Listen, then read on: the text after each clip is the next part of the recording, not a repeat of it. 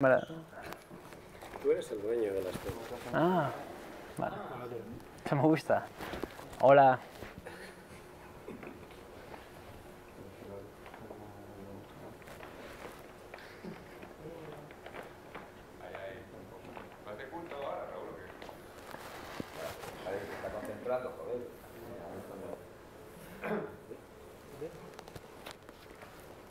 ¿Eres el dueño de la escena? Sí, yo podríamos decir que yo, yo hago sombra a todos. Yo pensaba hasta ahora... Cuidado. ¿Pero viste la pregunta para coger? ¿O empiezo? Bueno, ¿cómo era? Si hago sombra. ¿Eres el dueño de la Ah. escena? Pues la verdad es que es la primera vez que hago teatro y me he sentido bastante bien. Nunca pensaba, David Muro es un grande ya muchos años, Patricia Pérez es una neonata, pero tiene un talento inusitado. Hay gente que, que es buena, tiene gen de actriz, ¿no? de showman. Javier Martín es un chico que lo hace muy bien, me ha sorprendido, pero creo que estoy en un punto... Yo hago mucha risa, creo. Eso dice mi abuela, también, es que esa es mi base ¿Haces o provocas? provoco a veces, y sin querer. Ahí está mi secreto. ¿Y el hoy qué te provoca? El hoy me provoca incertidumbre, ¿no? porque yo veo, yo veo la obra, leí el texto y me quedé alucinado.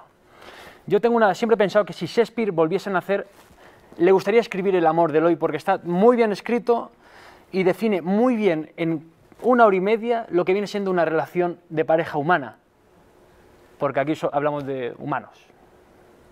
¿Crees acaso que si Shakespeare volviese a nacer, tú serías un auténtico Romeo? Ahí ya me lo has puesto... mm, Yo no te he tocado, no te he puesto nada. Eso es cierto. La verdad es que yo tengo. Mi impulso por el teatro viene un día mi padre, mi padre que es un gran trabajador, pero que no le gustaba el teatro, entonces me llevó a ver una obra de Shakespeare. Era eh, Macbeth.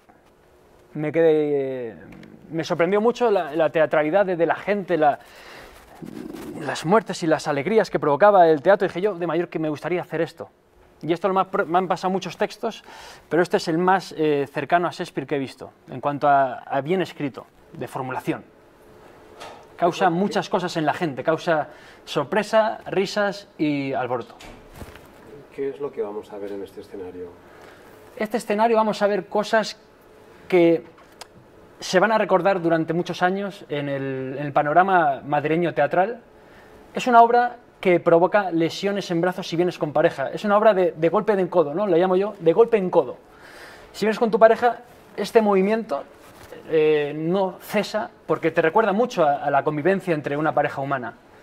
Y eso pues es muy bonito, hay mucha risa.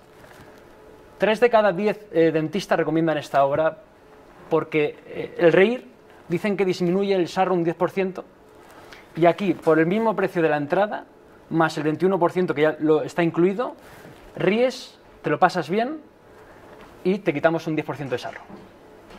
¿Y Ernesto Caballero qué opina de todo esto? Ernesto Caballero, pues mira, es- me, me alegra que me hagas esta pregunta. Ernesto Caballero vino a ver la obra el otro día, salió, yo me, me- fue un impacto, salió emocionado de la, de la- de la función porque dijo que él lo había soñado, había soñado eh, cuando él se puso, pensó en escribir esta obra, se imaginó exactamente lo que vio aquí, pero con menos risas. Nosotros le hemos dado muchas risas más, 15% más de risas de lo que él había soñado.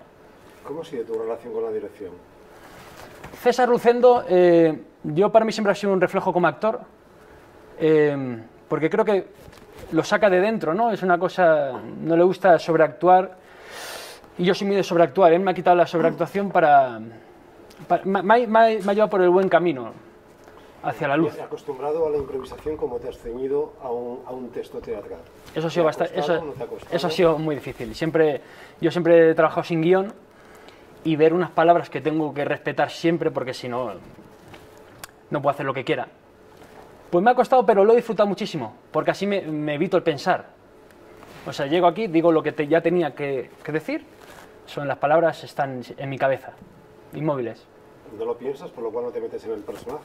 Sí, pero ya está tan interiorizado que pasan como si fuese, está tan interiorizado que pasan directamente de mi cabeza a mi boca. Es como, es como soltar perlas por la boca sin, sin dosificar. Es, yo regalo palabras al mundo, es- soy un donante de risas. ¿Y en tu, tu ópera prima cómo has trabajado el personaje?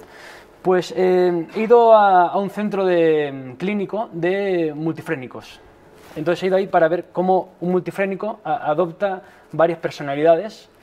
Y estuve con un chico que se llama Joaquín, desde aquí le doy un, un abrazo, y era multifrénico.